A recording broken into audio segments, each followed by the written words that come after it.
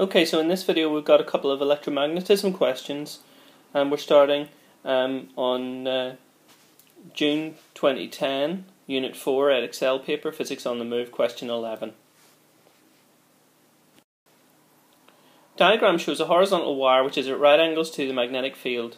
The magnetic field is produced by a horseshoe magnet which is on a balance and is adjusted to read zero when the current in the wire is zero.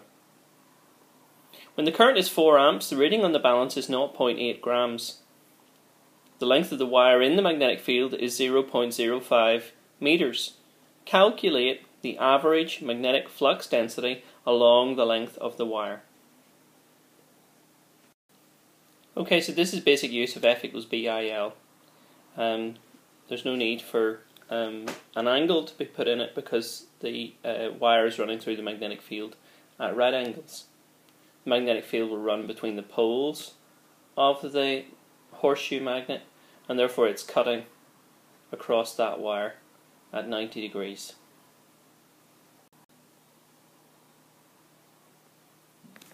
Okay, so firstly,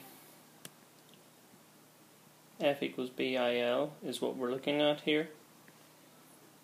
But F also equals mg from the reading on the balance. So we can put those two things equal to each other.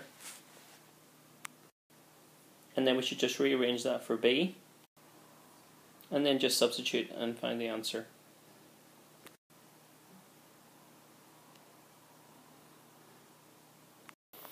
Uh, just remember that it's 0.8 grams, not 8 grams. So you need another zero here. And just feed that into the calculator. And that gives us 0 0.039 Tesla. Right, same June 2010 paper, question 12 this time, another electromagnetism one.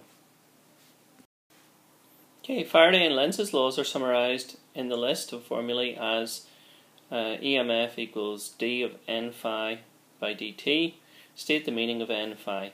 Okay, well that's just your flux linkage, uh, magnetic flux linkage. Explain the significance of the minus sign. Well, the minus sign, remember, come from Lenz's law. And you need to explain there that the EMF, um, according to Lenz, would always try to oppose the change causing it. So the minus sign goes in to indicate that the EMF is trying to oppose what is causing it.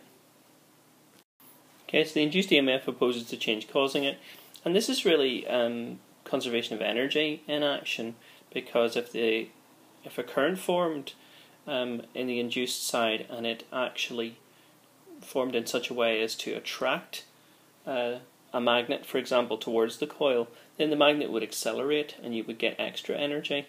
Um, so it would start to give you energy for nothing, and that wouldn't make any sense. So it always opposes the change causing it, so you have to do work to make a current at the other side.